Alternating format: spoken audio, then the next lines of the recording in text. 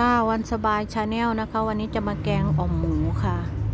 เขือเปาะมะเขือพวงถั่วฝักยาวแล้วก็กาดขาวก็จะมีหมูชิ้นแล้วก็จะมีพริกแกงเผ็ดนะคะใช้พริกแกงเผ็ดค่ะแล้วก็มีใบโหระพาค่ะตั้งหม้อให้เดือดแล้วเราก็ใส่พริกแกงเผ็ดลงไปนะคะใส่พริกแกงลงไปค่ะพอน้ำเดือดแล้วเราก็จะใส่หมูลงไปนะคะ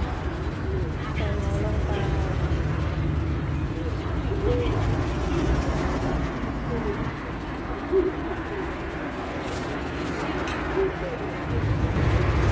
ค่ะพอหมูเริ่มสุกเราก็จะมาใส่ผักลงไปนะคะ ผักที่เราเตรียมไว้ค่ะเราก็มาคนผักให้ทั่วถึงให้มันสุกได้ที่ค่ะ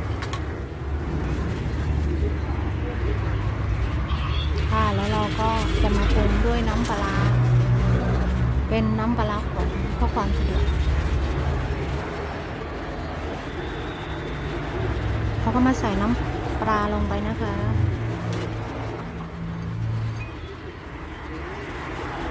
แล้วก็ตามด้วยน้ำมันหอยค่ะ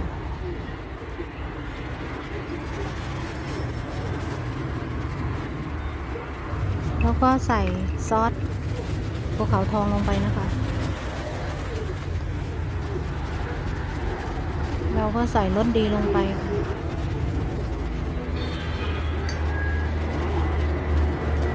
แล้วก็มาคนให้เข้ากันค่ะ ค่ะ พอสุกดีแล้วเราก็ใส่ใบโหระพาลงไปนะคะก็เป็นอันว่าเสร็จนะคะ ค่ะก็ปรุงเสร็จแล้วเราก็ชิมดูนะคะ ตามใจชอบเพิ่มเครื่องปรุงได้ตามชอบใจนะคะค่ะอย่าลืมติดตามวันสบายชาแนลด้วยนะคะ ขอบคุณมากค่ะ